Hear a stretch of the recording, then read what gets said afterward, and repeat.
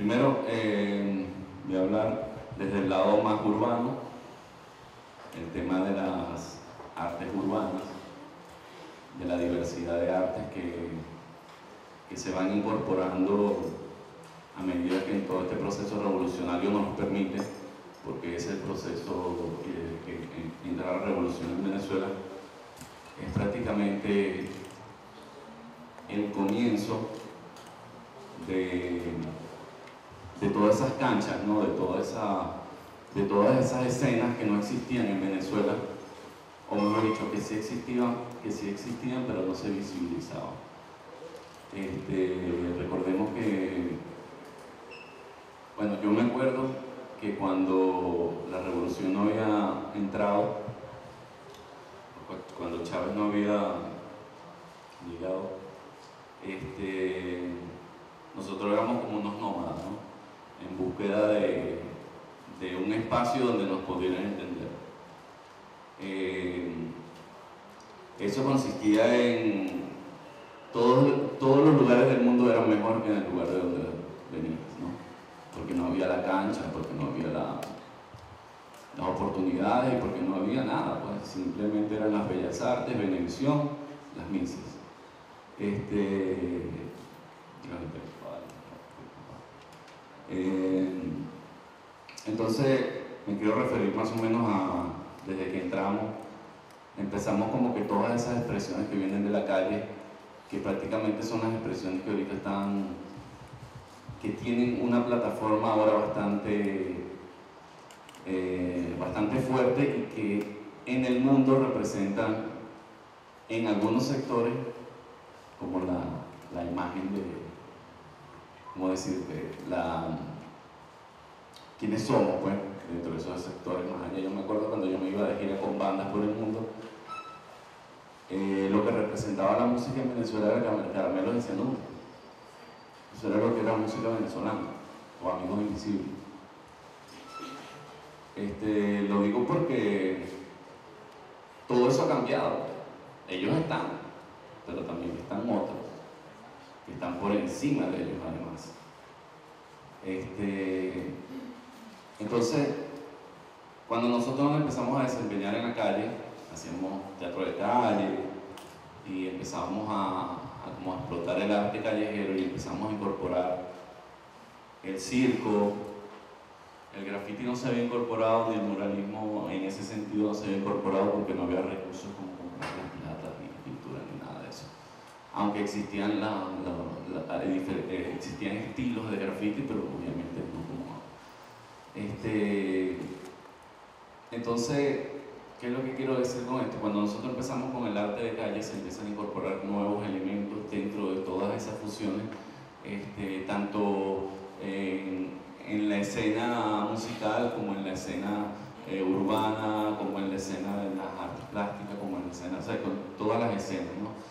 Este, entonces, eso, eso empezó como a transformarse y empezó a desempeñarse, empezó a agarrar fuerza, empezó a organizarse, empezó a buscarle movida, se empezaron a crear lugares y espacios donde se podían desenvolver, donde se podían como que juntar la gente, ¿no? Esa era una de las búsquedas principales que teníamos nosotros cuando viajábamos era como que necesitamos un centro de operaciones, que no era Venezuela el centro de operaciones. El centro de operaciones era un espacio que nosotros prácticamente aclamábamos porque no teníamos donde juntarnos. Más allá no existía el internet ni siquiera, yo sí existía, pero no era tan, no era masivo, exacto.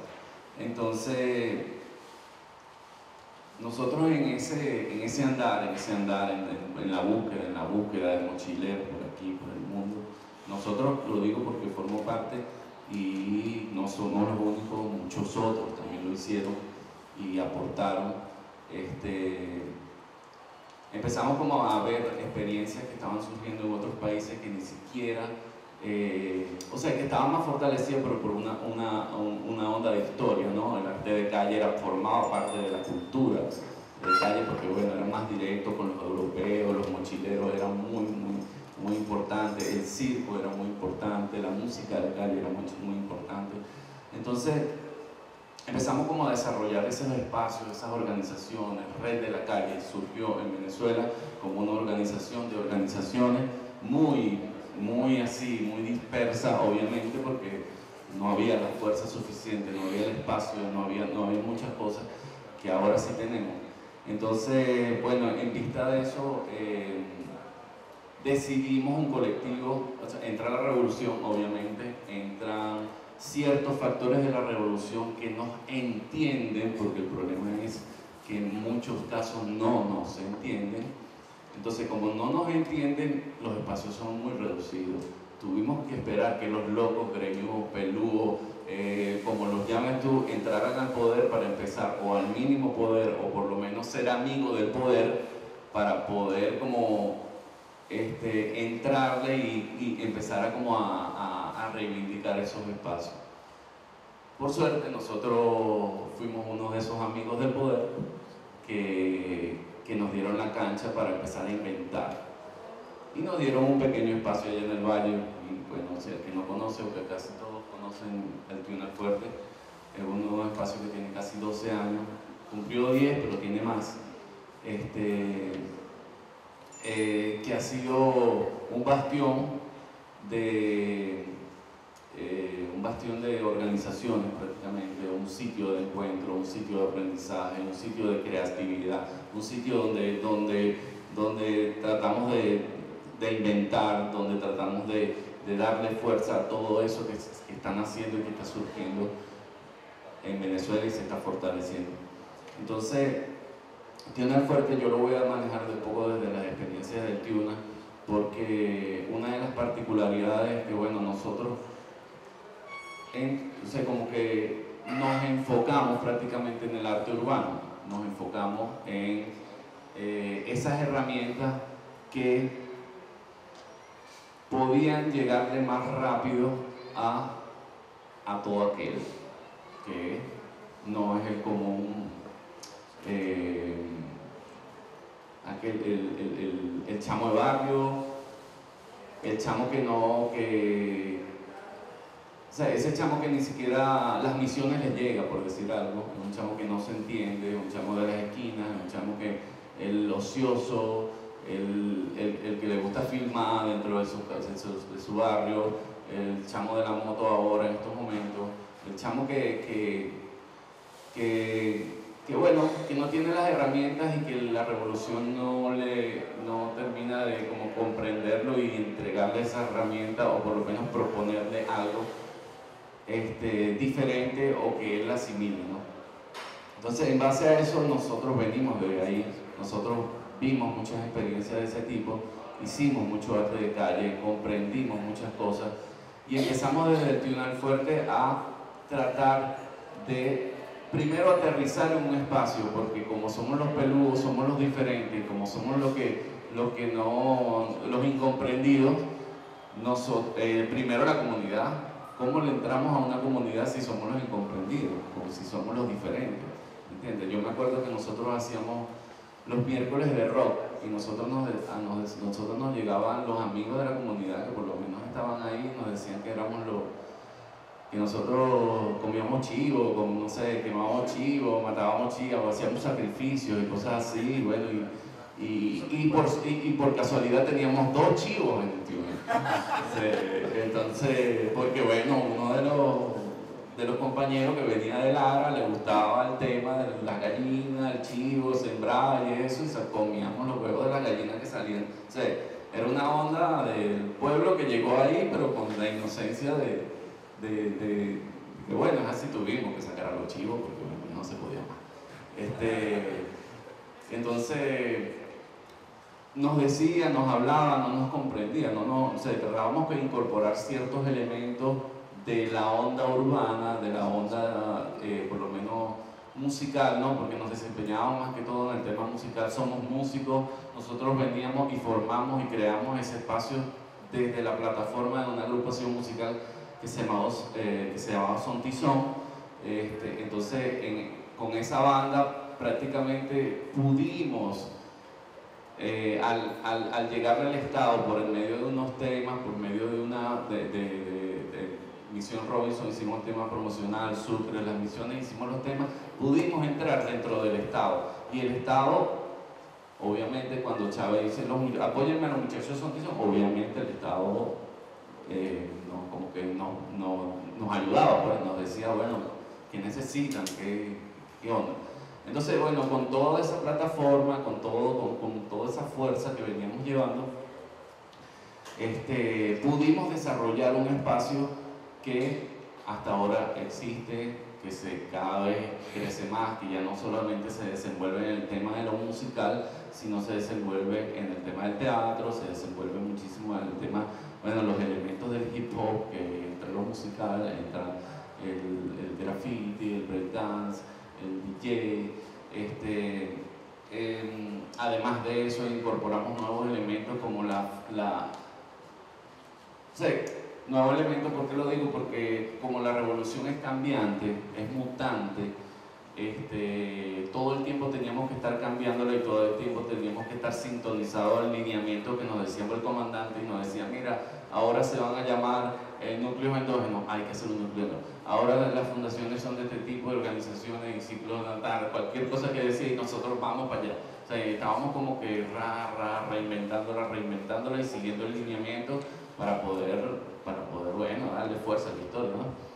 Este, entonces, en base a eso, nosotros empezamos como a utilizar estos mecanismos, estas herramientas del arte urbano para, eh, para poder seducir a aquel del barrio, del chamo, que no lo seducen ni las misiones, ni lo seducen nada que tenga que ver con lo aburrido para ellos, lo que no filme para ellos, lo que no haga ser el que tal, el que Pascual, el que Prao, el Frao, el como le digan. Este, entonces, el, nosotros tratamos como que de utilizar esas herramientas para llamarlos, para decirle, mira, es por aquí. Y empezamos creando algo que se llamó la escuela de hip hop que utilizamos como plataforma para tratar de traer al chamo del barrio a nuestro territorio, que es muy difícil, muy difícil, porque nosotros todavía no, podíamos entrar a su territorio. Obviamente teníamos que estar teníamos que conocer gente para poder llegar a esos sitios, ellos no podían pasar de ciertos sitios, se estaban delimitados, esto es una historia todos la conocen. Este, entonces, digo todo esto porque estas herramientas que utilizamos de repente para muchos no representan la identidad de nuestro país, sino que este, vienen de afuera, que es cierto, de afuera, pero nuestra diversidad cultural, al igual que nuestra diversidad de quiénes somos, esta, esa mixtura del criollo, que es una mezcla de indio, negro, blanco, este, no se puede decir que no es venezolano porque somos, ¿sí? Entonces, ¿qué es lo que, qué es lo que, qué fue lo difícil de todo esto para, para, para decir que nosotros, o ese tipo de nosotros, representaba la identidad de este país en cierto aspecto. Obviamente no generalizo porque no se puede, porque cada, cada eh, somos satélites ¿no? de un gran mundo. Este, entonces, esa mixtura, esas diferencias musicales, esas cosas, las utilizamos como herramientas para llamarlo pero la utilizamos como herramienta para llamarlos, para poder como que, aparte de seducirlo, decirle que hay un mundo también diferente, que hay otras cosas que se pueden utilizar como elementos para crear esa mezcla, como tú decías, campesino rap, por ejemplo. Entonces, es bien sabido que en el barrio la música tradicional, después de San Juan, después de, muchas expresiones culturales que en ciertos círculos de mayo, más allá de eso, es el reggaetón, es la música que no, es, eh, que tampoco es nuestra, pero ya está, ya forma parte del, común. Este, entonces, con todo esto lo que quiero decir es que todas esas identidades, desde lo urbano, vuelvo y repito, este, hasta lo, más tradicional, hasta lo más contemporáneo, hasta lo más, eh, no sé, eh, estudiado de las grandes universidades y todo eso, representa prácticamente una esencia representa una figura de, que en el mundo mm, prácticamente no nos ven como algo, como algo particular, ¿no? Simplemente nos ven como, como eh, ¿cómo te digo? Yo estaba ahorita en una ponencia, para eso lo, lo, lo, voy a resumir, yo estaba en una ponencia ahorita en un festival que fui ahora la semana pasada y, fue con, fui con Pérez Pireo, por ejemplo. Y él dictó una ponencia en el Foro Social y él hablaba del tema de, de cómo Hollywood ha incidido y ha influido en la cultura de Venezuela y tanto de Venezuela como en el mundo. Pues. O sea, y él se enfocaba en Hollywood y cómo nos veían a nosotros, el común, el cualquiera, de otros países, qué es lo que representaba Venezuela. Entonces, obviamente, Venezuela es Mises, obviamente eh, Venezuela es petróleo, playas bonitas y ya. O sea, eso no Venezuela, si te pones a preguntar, obviamente ahorita es diferente, ahorita es Dudamel, ¿entiendes? Ahorita es, ¿cómo se llama? Obviamente, por supuesto, Chávez. Este, entonces, eso es lo, que quiero decir, cómo, cómo nos ven, cómo, sé cómo definimos nosotros eso, cómo nos definimos nosotros. Yo creo que sí hay que buscarla, sí hay que seguir en la búsqueda de quiénes, o resaltar o realzar el, el, tema de quiénes somos, pero bajo su escenario. O sea, cada escenario tiene sus particularidades. Entonces, si cada escenario tiene su particularidad, imagínate la diversidad y el mundo, o sea, el mundo se queda chiquito para lo que somos, ¿entiendes? Para lo que somos. Y lo mismo pasa con Colombia, y lo mismo pasa con Brasil, y lo mismo que tal, y el otro y Pascual. Entonces, lo, que quiero decir es que la, la, imagen o, la búsqueda de, tratar de definir cómo, cómo, cómo nos vemos, es diversidad, es algo, es algo que no, no, está definido, que tenemos que seguir explotando, tenemos que seguir estudiando, que tenemos que seguir este, eh, impulsando dentro de la movida de, la, de, las artes urbanas en este caso. Entonces,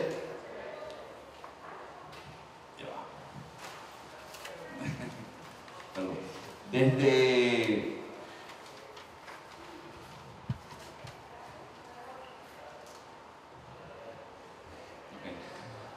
Entonces, desde este espacio, nosotros hemos estado como tratando de impulsar eso que llaman la música under o los diferentes tipos de música que para nosotros o para muchos no, no la representan como la música venezolana. Pero resulta que tenemos una particularidad y la particularidad es que eh, tenemos algo que se llama la industria. La industria la cual nos impone a nosotros prácticamente cómo tenemos que vestir, cómo tenemos que ser o cómo no tenemos que ser. O sea, la industria es tan fuerte, es tan fuerte, que ya en, Choronín, en San Juan, yo no escucho prácticamente los tambores que escuchaba hace 15 años. Escucho una miniteca. ¿Entiendes? Es una miniteca en Choronín. Imagínate. Imagínate que decirte de las grandes ciudades. ciudades. En las grandes ciudades prácticamente desvirtúa el, el, tema de la tradición, de, de, dónde venimos, de esa música que tenemos que, y que, que, que no podemos perder, pues, porque prácticamente es la música que los que vienen de afuera toman para que ellos, para ellos volvernos a imponer, ¿no? Es como un toma y dame, ¿no? Entonces, por ejemplo, Manu Chao, Manu Chao no es él, Manu Chao somos, es Latinoamérica, por decirte un artista cualquiera, o Calle 13, ¿entiendes?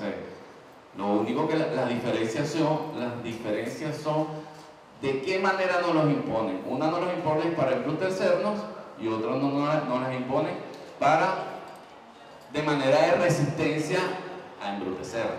Entonces, prácticamente. Entonces, ¿qué es lo que... O sea, en Venezuela ahorita la música que predomina, que es el reggaetón, como en Colombia, como en, en Estados Unidos, sí, pero en Miami, en otros países, es tan fuerte esta música, que es la identidad de Puerto Rico prácticamente, este, que yo estando en Irán, Irán, escúcheme, Irán, fui a una casa donde había tremenda rumba y estaba sonando Tego Calderón. En Irán. Entonces, imagínate, sé que cómo nosotros podemos ver, cómo nosotros podemos manejar ese tema de de la identidad, ¿no? Obviamente la identidad de Venezuela viene, viene, viene impulsándose más que todo en lo urbano, yo creo que, bueno, aparte de Dudamel, ¿no? Porque Dudamel es, es el rockstar ya, muchachos, ya ese ya rompió las barreras. Este, en, Los Ángeles hay un perro caliente que se llama Dudamel. el tipo brutal este, se lo comió, no lo comimos porque forma parte de nosotros. Eh, entonces, lo que quiero decir con todo esto es que este, la diversidad también como que también no es, es, otro mecanismo que nos permite vernos, nos permite vernos desde afuera, nos permite vernos nosotros, pero no la diversidad con el tema de quién es más yo, pues. ¿Quién es más yo? Yo soy más yo porque, porque toco arpa, y maraca, o yo soy más yo porque canto hip hop en un barrio, o yo soy más yo porque toco rock, o yo soy más yo, no, somos todos.